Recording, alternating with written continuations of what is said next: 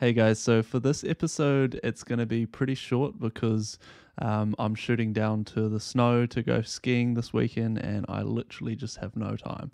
So, um, yeah, this is it's going to be a short one. I'm going to be doing some gravel out in front of the uh, um, in front of the entrance of the house. So we're still fo- focusing on the first render, um, and I'm essentially just going to be, um, yeah, just chucking down some gravel. I actually recorded this video before, um, but I wasn't really happy with the final result. So I've actually found an easier way to do it, um, and it actually has a better result.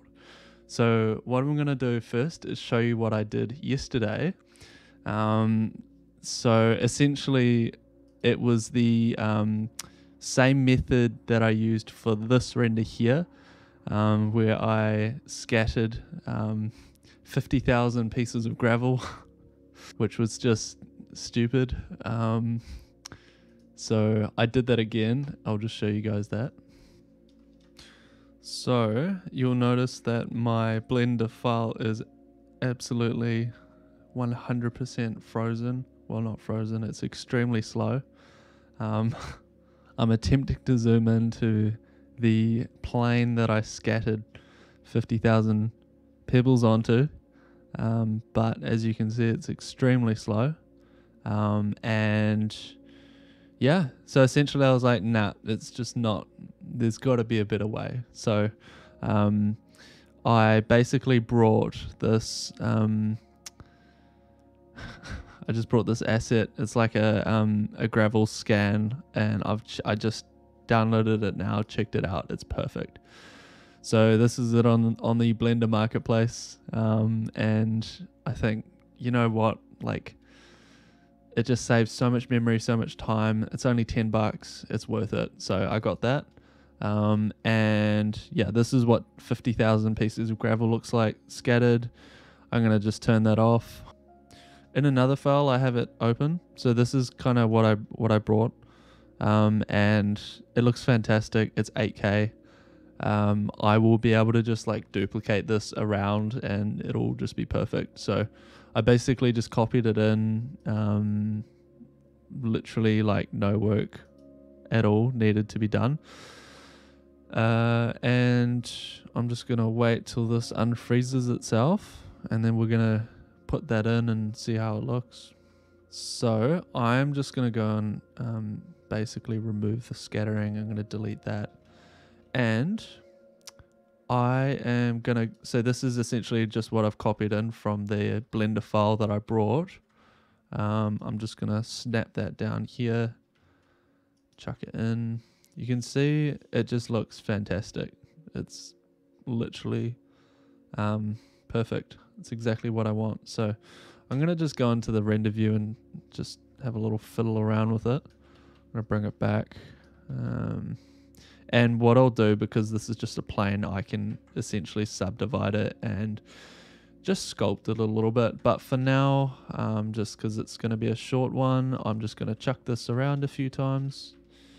Um, you don't have to do everything yourself, you know. If you buy something and it looks good, then you've just saved a whole bunch of time and bam, that is pretty damn good gravel. I see basically no tiling and I don't know, it just works. So, uh, yeah, what I'm gonna do just really quick. Isn't it amazing how I'm able to work in render mode because of how optimized this workflow is? I'm just gonna delete this little square, and then I'm just gonna bring that down. That's conveniently where I need it to be. Um, so if you kind of look close up, at just like what we have here, we've got. I mean, the timber looks pretty damn good, pretty realistic. I mean, if you zoom into the stones, like I'm gonna probably have to subdivide it a few times to actually bring out the. So what I'm, I might actually do that now. I might subdivide it like a hundred times and see if that works. That might bring out, yeah, that might bring out the displacement a little bit. Um, I might just go on the subdivision uh, modifier just on this plane. I might just move it up a level and see if that helps. But I mean, from the kind of view that we're doing, like you literally just don't you don't notice it. It looks fantastic. Um, so I'm just going to move this back a little bit, just so we we have um, space for the plants. And I'm going to move these down. Uh, let's go back into the render view. Yeah, I mean, in the next episodes, I'm gonna just like fine tune this whole garden area. I'll probably slope it down. Probably, uh, you know, add maybe some tire marks in it because we've subdivided it. We can do that.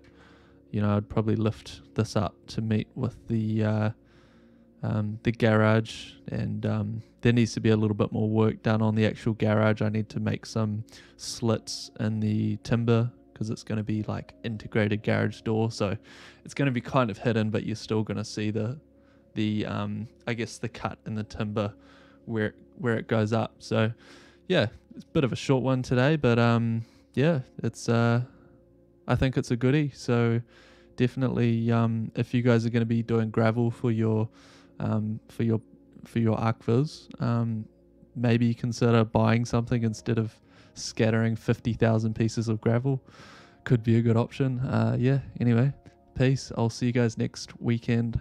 And uh, please like and sub if you enjoy this content so far. Cheers.